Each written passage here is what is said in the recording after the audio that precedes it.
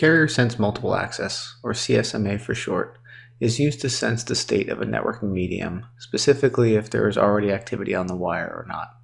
which is used to prevent collisions when multiple devices are attempting to transmit at the same time. There are two variations of CSMA, which are Carrier Sense Multiple Access with Collision Avoidance, which uses a jamming signal to let other devices know that a device is about to transmit so other devices do not attempt to transmit at the same time there is also carrier sense multiple access with collision detection, which does not use a jamming signal, but instead devices just listens for an absence of another transmission to determine if they can transmit.